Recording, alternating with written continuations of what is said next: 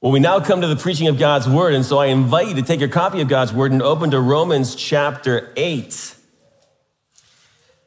And as you do that, note the infallible evidence that you have been justified and will be glorified is the presence of the Spirit in your life. In fact, the absence of his presence signals that you don't belong to Christ. In the language of Romans 8 9, however, you are not in the flesh, but in the Spirit, if indeed the Spirit of God dwells in you. And then Paul says, But if anyone does not have the Spirit of Christ, he does not belong to him. The distinguishing mark that a person belongs to Christ is that they have the Spirit.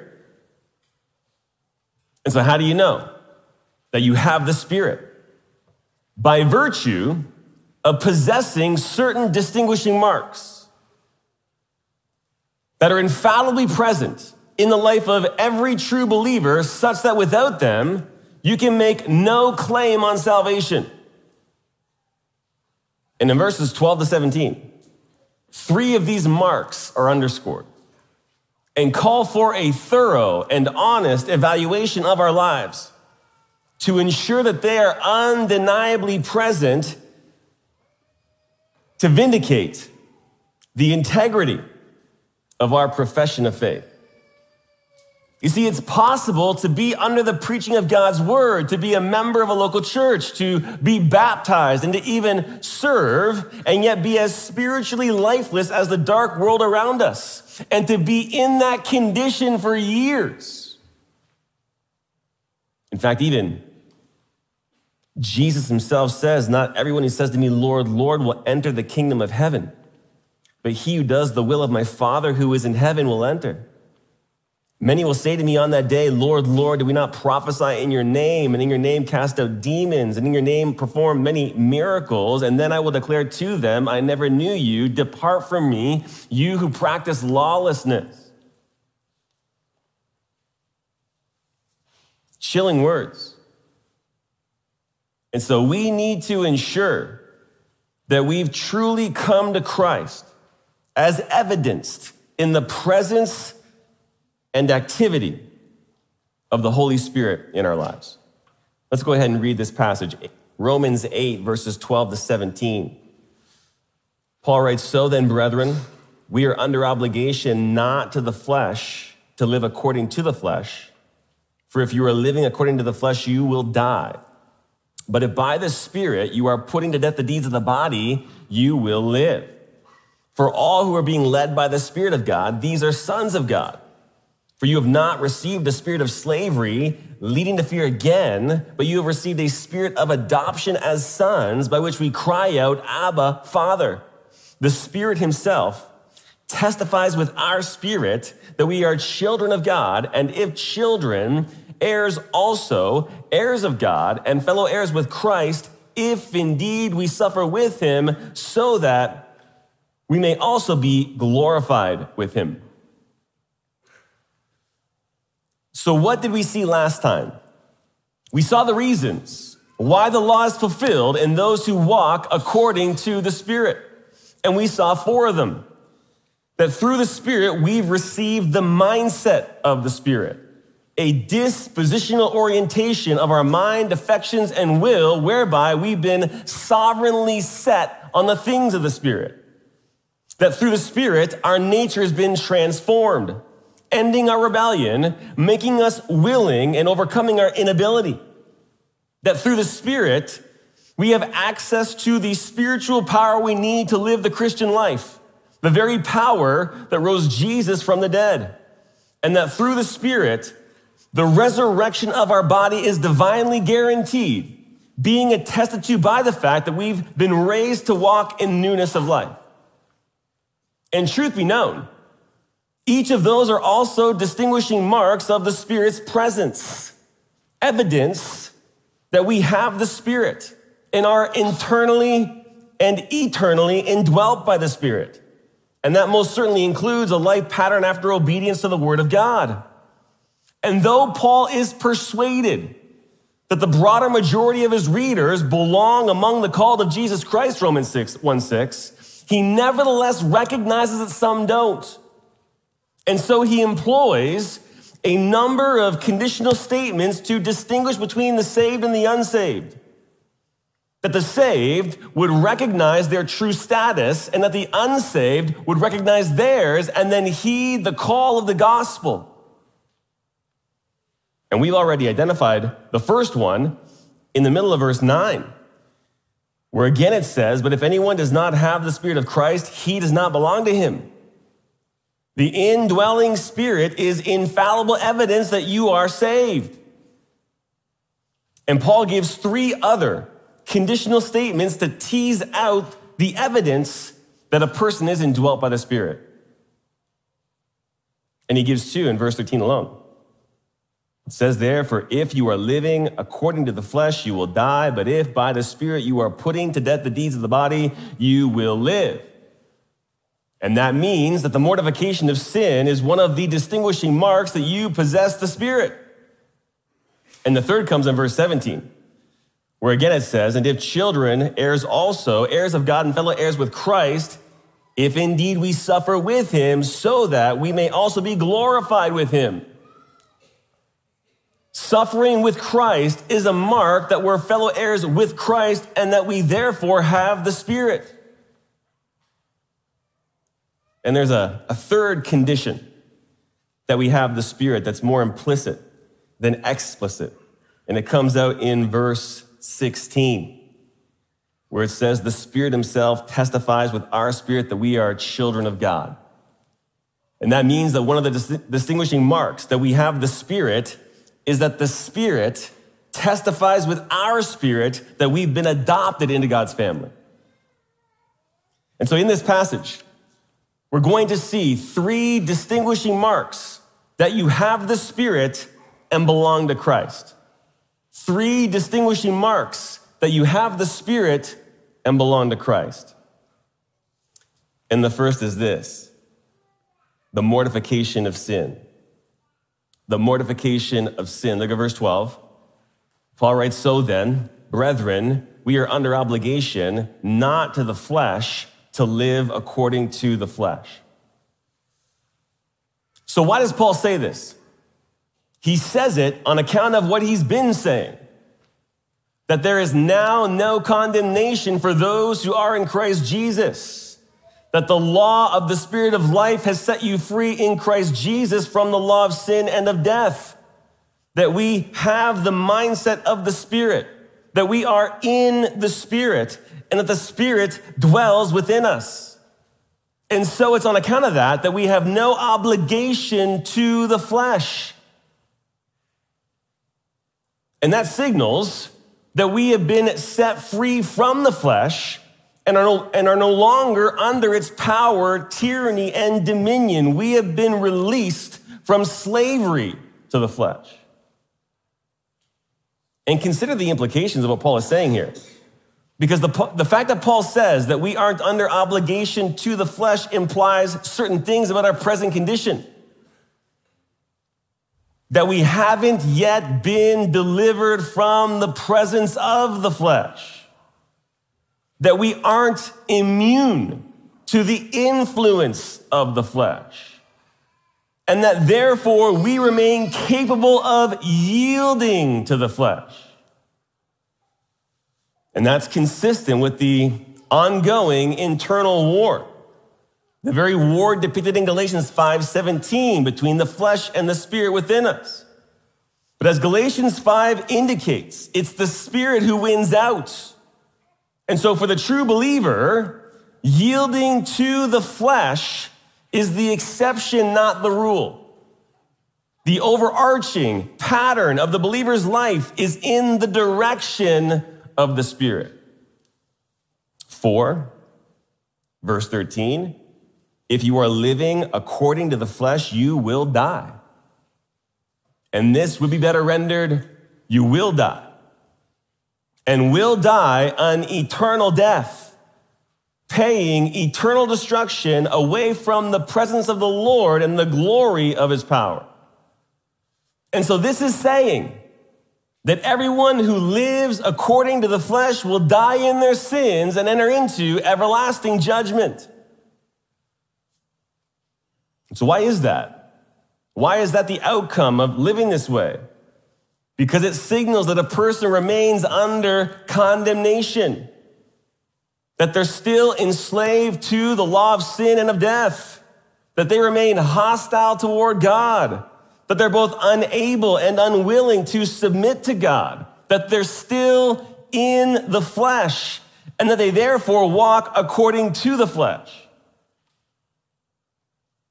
And so to live according to the flesh is to live in such a way that's consistent with enslavement to sin. And the wages of sin is what? Death. Romans 6 23. But, rest of verse 13, if by the Spirit you are putting to death the deeds of the body, you will live and will live eternally in resurrected, glorified human bodies in the manifest presence of God and entirely delivered from the presence of the sinful flesh. And what's absolutely critical is that eternal life isn't secured by putting to death the deeds of the body. Instead, putting to death the deeds of the body is a distinguishing mark of someone who already possesses eternal life.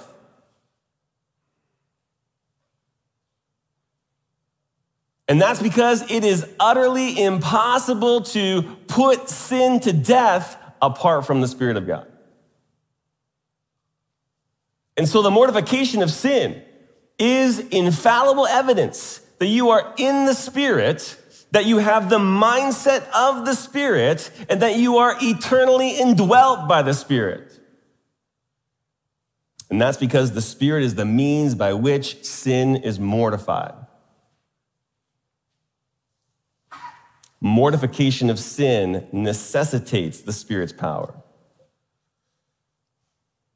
And it's intriguing that Paul refers to sin here as the deeds of the body. Why does he do that? We would expect him to say the deeds of the flesh.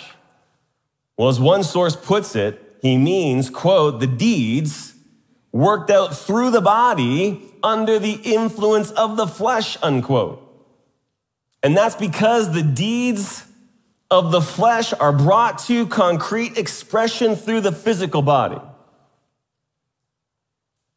And so verse 13 promises that if we're actively putting to death the deeds of the body. By the power of the Spirit, we have infallible evidence that we're saved.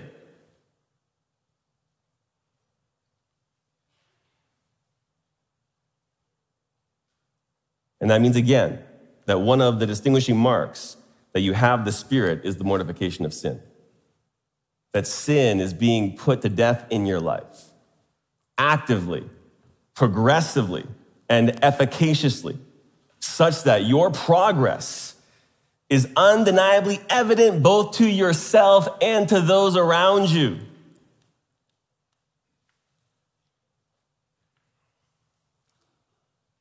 So let's think on this for a minute. What is it to put sin to death? Well, let's identify what it's not. It isn't making accommodations for sin whereby instead of killing sin, you actually make provisions for sin, establishing avenues whereby you can secretly or quote unquote respectably indulge in sin. Nor is it to make peace with sin, to simply accept the fact that so long as you're in this body, that sin is inevitable, whereby you are somehow going to just choose to coexist with sin. But also, it isn't merely to bruise or wound or injure sin, merely treating it as an opponent that you must somehow bring to submission without actually killing sin. Instead, to put sin to death is to do just that. It is to kill it, to cut it off from its very life source, from that which feeds it It's to act in such a way that sin is progressively dying a decisive death in your life. That its very life is being suffocated out of it. It's to treat sin like weeds in your life, whereby you are actively doing whatever it takes to remove those weeds. And what's significant here is that Paul doesn't spell out how to mortify sin. There's no step by step process on the, the how to in this. And that's probably for two reasons. One, because he's marking out the mortification of sin as evidence of having the Spirit. And two, because it's the Spirit who is the one that actively leads us in this endeavor, even equipping us for this task. There's something intuitive about putting to death the deeds of the body if you have the Spirit. And yet, I think we do well to rehearse a number of the imperatives that call us to this task. Romans 6:12. Therefore, do not let sin reign in your mortal body so that you obey its lusts. So we aren't to obey sin. Romans 6 13. And do not go on presenting the members of your body to sin as instruments of unrighteousness, but present yourselves to God as those alive from the dead, and your members as instruments of righteousness to God. And so we are to consecrate ourselves unto God. Romans 12 1. Therefore, I urge you, brethren, by the mercies of God, to present your bodies a living and holy sacrifice acceptable to God, which is your spiritual service of worship. And so we are to offer our lives to God as a sacrifice, a living and holy sacrifice. Romans 12, 2, and do not be conformed to this world, but be transformed by the renewing of your mind so that you may prove what the will of God is, that which is good and acceptable and perfect. And so we are to be transformed by the renewing of our minds, a renewing that takes place by means of the word of God. And how about Romans 13, 14? But put on the Lord Jesus Christ and make no provision for the flesh in regard to its lusts. So, not only are we to put Christ on, we are also called to not make provision for the flesh. And the idea is this that you would give yourself to whatever is necessary to fulfill those commands, seeking to equip yourself by means of the work of the Spirit within you for the mortification of sin.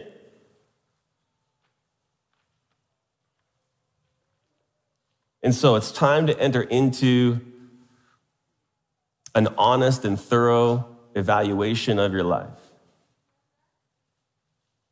The mortification of sin is a distinguishing mark that you have the Spirit. And so survey your life since conversion. Is the Spirit's presence practically evident in your life? Can you see that He's working? Can you see that He's molding and conforming? Are you seeing sin in your life be progressively put to death? Is there progress? Have you made progress since coming to Christ where you can definitively see that sin is dying and being killed? Is the entire trajectory of your life ordered around the mortification of sin? Is this either at the top or near the top of your list in terms of the aims and pursuits of your life? Is your vital need for the word, prayer, and the body of Christ undeniable to you? Do you absolutely need these things in your life to live the Christian life, such that if you were to remove yourself from them, you would be in a, a place of spiritual despair? Are these things critical? Jesus says, Man shall not live on bread alone, but on every word that proceeds from the mouth of God. Do you, do you have that experience? Can you testify to that, that you need the word of God that deeply? Do you truly hunger and thirst for righteousness? There's no question that hunger and that thirst is going to vary in degree, but nevertheless, it should be there a hunger and a thirst for righteousness. Do you truly despise the things of this world, the things of this world system, the, the lust of the eyes, the, the lust of the flesh, the boastful pride of life? Do you truly despise those things? When you get off track, do you experience the discipline of the Lord? Where the Lord comes into your life and convicts you of your sin and, and convicts you of your, your, your way and, and, and, and chides you, disciplines you lovingly to bring you back to the path of righteousness. Does that happen in your life? Have you experienced that sorrow in your life? And is it yielding the peaceful fruit of righteousness in your life? Are you actually becoming more like Christ? That's the goal of your salvation. The goal is that you would be molded ever more into the image of Christ. Are you actually seeing that be a reality in your life? Can you see that you are, in fact, being molded ever more into the image of Christ? Are you walking in such a way that the law is fulfilled in you through the power of the Spirit? Are you fulfilling the righteous requirement of the law as the Spirit empowers you to walk in obedience to God? Is your mindset on the things of the Spirit? Is that the orientation of your life? Is your mind and affections and will clearly set on the things of the Spirit? Because if not, you are living according to the flesh and you will die. And you will die eternally, entering into eternal, everlasting judgment. We're seeing three distinguishing marks that you have the Spirit and belong to Christ. And the first is the mortification of sin, the second is the testimony of sonship. The testimony of sonship. Look at verse 14. For all who are being led by the Spirit of God, these are sons of God. So, what does it mean to be being led by the Spirit? Well, verse 14 is explanatory. You can see the for there, and it's explaining verse 13. And so, to be led by the Spirit is synonymous with being empowered by the Spirit to put to death the deeds of the body. So please don't miss this. Being led by the Spirit isn't being led by so called subjective promptings of the Spirit. This is not referring to something mystical Instead, it's referring to the mortification of sin. You know that you're being led by the Spirit if you're putting to death the deeds of the body. That's what this is saying. As one commentator aptly puts it, the leading of the Spirit does not refer to guidance for everyday decisions in determining the will of God. It refers to being, quote, controlled by or determined by or governed by the Spirit, unquote.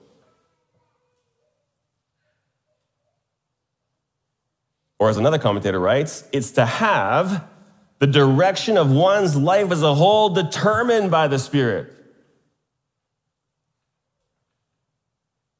And as you might, as you might expect, Paul makes a similar statement in Galatians 5. Galatians 5:18 where he says this, "But if you are led by the Spirit, you are not under the law." And to be under the law, as you know, is synonymous with being under the power of sin. And so, to be led by the Spirit is to be led into obedience. And even results in the generation of the fruit of the Spirit, Galatians 22 and 23, chapter 5. And so the mortification of sin actually vindicates that we're sons of God. Again, verse 14 for all who are being led by the Spirit of God, these are sons of God. And does so in such a way that's entirely consistent with the exclusivity of verse 13, because the word rendered all here in verse 14 is literally as many as and accents the, the limited extent of this sonship so that only those who are being led by the Spirit are sons of God. And this leads Paul to our, glor- our glorious adoption in verse 15, where he writes, For you have not received the spirit of slavery, leading to fear again, but you have received the spirit of adoption as sons, by which we cry out, Abba, Father. And so, being led by the Spirit of holiness in the pursuit of holiness is evidence of our adoption. It's evidence that we've received the Spirit of adoption, namely the Holy Spirit, by which we address God as our Father. And it's often at this point that the Roman practice of adoption is appealed to, where adoption in that culture is a legal institution severing a child from their former legal status and conferring on them all the rights and privileges that normally belong to a natural child.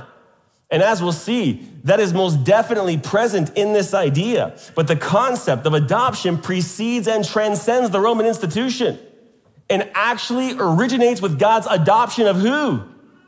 Israel. Look at chapter 9, verse 3 and following. Paul writes, For I could wish that I myself were accursed separated from Christ for the sake of my brethren, my kinsmen, according to the flesh. Verse 4 who are Israelites, to whom belongs the adoption as sons. And so the concept of sonship originates with Israel. And so, as we consider our own adoption as sons, it's not that we become Israel or that we replace Israel, it's that we become participants in and beneficiaries of the covenant promises made to Israel the Abrahamic, Davidic, and new covenants. And yet, even more glorious than that is that our adoption is a direct result of our union with Christ, whereby Every right and privilege that rightly belongs to Christ is bestowed on us, such that in Christ we have been blessed with every spiritual blessing in the heavenly places in Him, Ephesians 1 3. In fact, aside from a similar passage to this in Galatians 4, the only other time this intimate fatherly expression of Abba appears in Scripture is in the Garden of Gethsemane. When Jesus made that agonizing appeal to the Father that the bitter cup of divine wrath might be removed from him, only to hear absolute silence and to go on to drink that bitter cup in full on our behalf. And it's because of that and our adoption as sons that we now cry out to God in prayer, Abba, Father, without any fear of impending judgment. Because Jesus stood in our stead and took upon himself the judgment we deserve. And so we need to see how great a love the Father has bestowed on us that we would be called children of God, 1 John 3 1. This is the most privileged status you could ever have. This makes any earthly inheritance seem like nothing. In fact, it renders it nothing. And we can have confidence that we are children of God on account of the testimony of the Spirit. Verse 16. The Spirit Himself testifies with our spirit that we are children of God. And this is referring to the internal experiential witness of the Holy Spirit, who testifies with our spirit that we are God's children, imparting to us the confidence and conviction that we are sons and confirming for us that we've been adopted into God's family. And so, note this our status as sons isn't just evidenced by objective fact, it's also evidenced by our subjective experience. It's both established in doctrinal truth and is something that transcends human comprehension.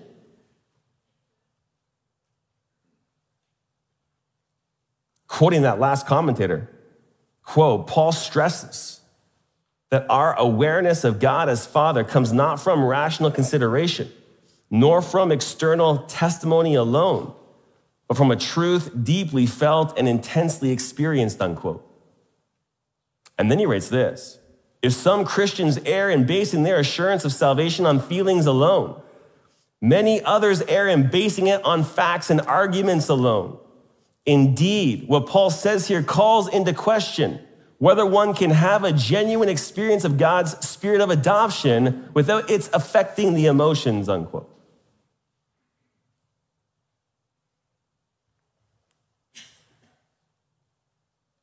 So, have you received the spirit of adoption? Does he testify with your spirit that you are a child of God?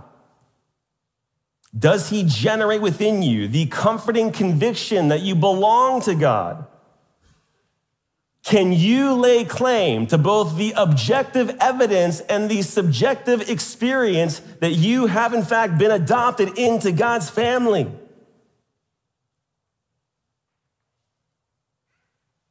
And though this is a reality that ought to be present in our lives at all times, there may also be moments when it's more pronounced, when the Spirit's internal witness is more palpable to you, when you're under the preached word, when you come before God in prayer, when you worship Him in song, when in fellowship with God's people. These are times when the Spirit is going to be more active in testifying to us that we are, in fact, sons of God. And remember, this reality of the Spirit witnessing to us ties back to Romans 5 5, where it says, And hope does not disappoint, because the love of God has been poured out within our hearts through the Holy Spirit who was given to us. And so there should be a an internal, experiential, and even incomprehensible sense of God's love for you as testified to by the Spirit of God. Do you have that? Do you see how great a love the Father has for you? Can you be confident that you have received this status of being a child of God? Because if not, is it not time to address that?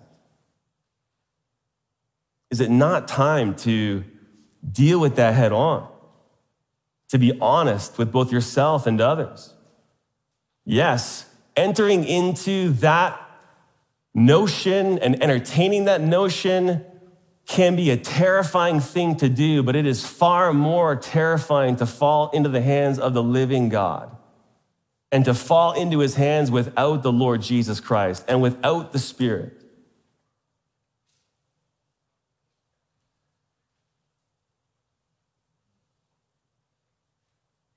And so, do you have the inner witness of the Spirit? Because if the Spirit doesn't testify with your spirit that you are a child of God, then you don't have the Spirit. We're seeing three distinguishing marks that you have the Spirit and belong to Christ. The first was the mortification of sin, the second was the testimony of sonship. Now, the third, the willingness to suffer. The willingness to suffer. Verse 17, and if children, heirs also, heirs of God and fellow heirs with Christ. So we aren't just children, we're heirs, and not just heirs, heirs of God. And we're heirs of God in two senses. For one, we are heirs of God Himself. The supreme gift promised to Abraham is that God would be God to both him and his seed. Galatians 17, 7, I will establish my covenant between me and you and your descendants after you throughout their generations for an everlasting covenant. Here it is to be God to you and to your descendants after you. So, the supremely unrivaled aspect of our future inheritance is God Himself. To have Him, to be with Him, and to behold Him eternally. And for two, we're also heirs of all that God has promised, which is inseparable from the reality that we are fellow heirs with Christ. Why is that so significant? Because Christ is the supreme seed of Abraham and heir of all that's been promised to him. And since we're in Christ, we too are heirs of the Abrahamic promise. Paul makes this point in Galatians 3:29, and if you belong to Christ, then you are Abraham's descendants, heirs according to promise. And that makes us heirs of the world. You say, really? Yeah. Look at Romans 4:13.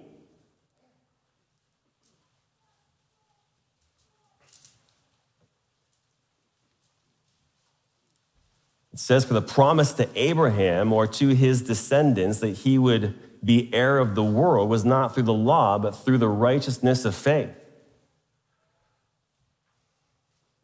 As fellow heirs with Christ, we are heirs of the created world. In fact, what does Jesus say in Matthew 5 5? He says, Blessed are the gentle for they shall inherit what? The earth. And what's amazing about this reality is that Paul actually takes up this very discussion in the next paragraph. Looking ahead to that time when, verse 21, the creation itself will also be set free from its slavery to corruption into the freedom of the glory of the children of God. And so at the second coming of Christ, the earth will be delivered from under the curse and will undergo a restoration that will rival Eden, and bound up in our inheritance is coming to possess that future restored earth.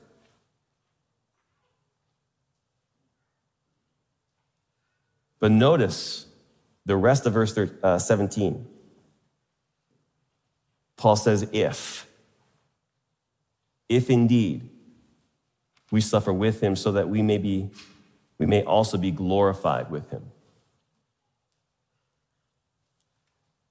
So suffering is a characteristic of a person who has the spirit. But this is not talking about suffering in general. It's talking about suffering with Christ. It says there if indeed we suffer with him you say, is suffering really? Suffering with Christ really evidence that we have the Spirit? Yes. 1 Peter 4 14. If you are reviled for the name of Christ, you are blessed because the Spirit of glory and of God rests on you. So, future glorification isn't secured by suffering for Christ. No, instead, suffering for Christ is evidence that we have a share in future glorification. It's evidence the Spirit rests on us. In fact, Jesus says in Luke 9 26, For whoever is ashamed of me and my words, the Son of Man will be ashamed of him when he comes in his glory and the glory of the Father and of the holy angels.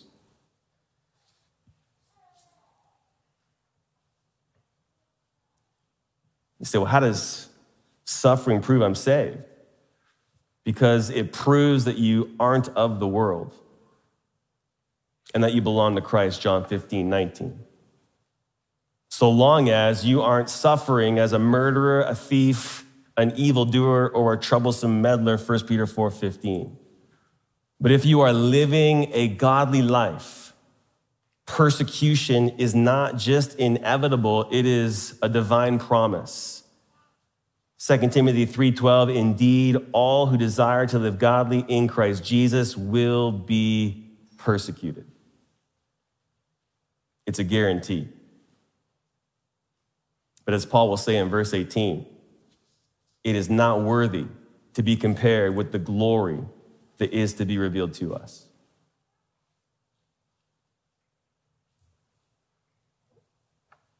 And so, one of the distinguishing marks that you have the Spirit and belong to Christ is that you suffer for his name's sake. And so, have you suffered for Christ?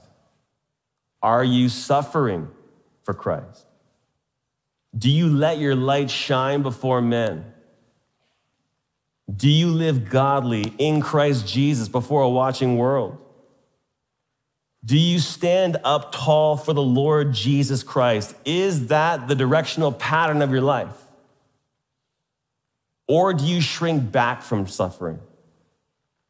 Always taking the path of least resistance, always avoiding necessary confrontation, never taking a stand for righteousness, where shrinking back is the pattern of your life. And if it's simply a matter of opportunity, where in your stage of life you haven't yet been given the occasion to suffer for Christ, can you at least say that you are undeniably willing to suffer for Him?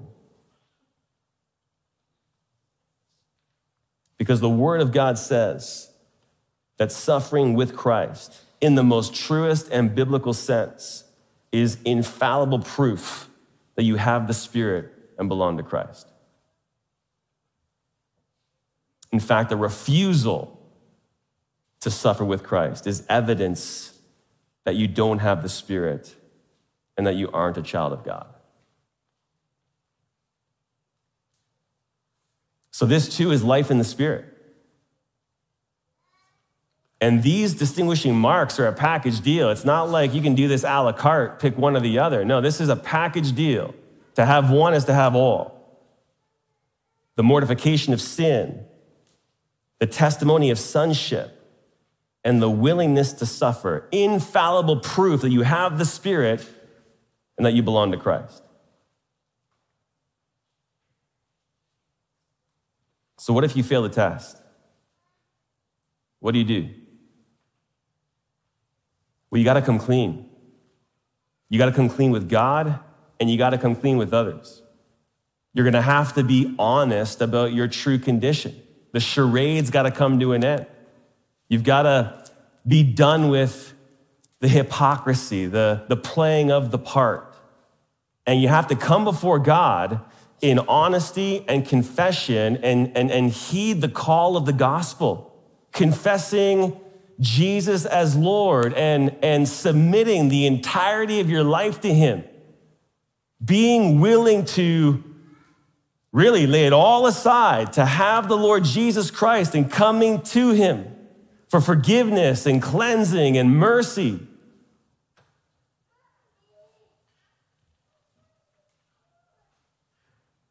And so I would urge you, if you are there, as terrifying as it may be, deal with it now, because it's only going to be more terrifying later.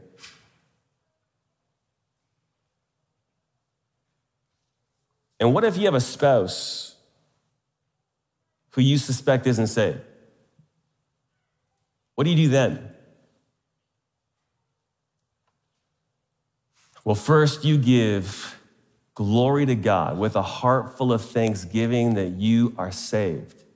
You give him honor, glory, and praise for his mercy and grace in your life, and you, you rejoice before him. You exult in him.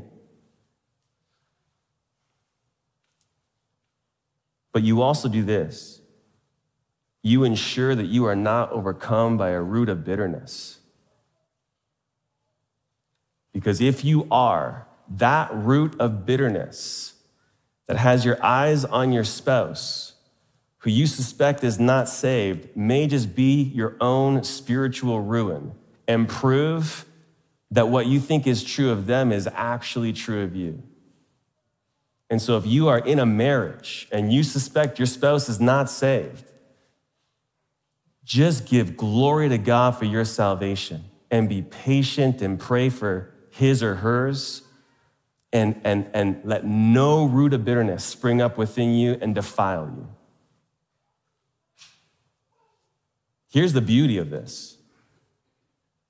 If the mortification of sin is a reality in your life, if the testimony of sonship is a reality in your life, and if you are willing to suffer for the Lord Jesus Christ, then you have infallible evidence that you are a child of God and not just a child, an heir, and not just an heir, an heir of God and a fellow heir with Christ, and you have the guarantee and future hope of eternal life in heaven, in the new heavens and new earth, in glorified human flesh, where you will be free, entirely delivered from the presence of sin delivered from the sinful flesh, and able to see, behold, and worship God for all of eternity as we even work in that new heavens and new earth to the glory of God.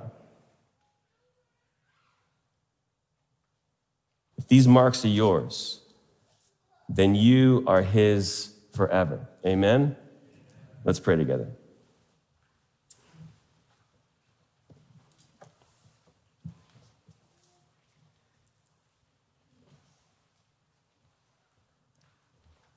Well, Father, we, we recognize that there are times when we come to your word that we are brought to a, a place of sober evaluation, a healthy place of introspection to ensure that we are truly in Christ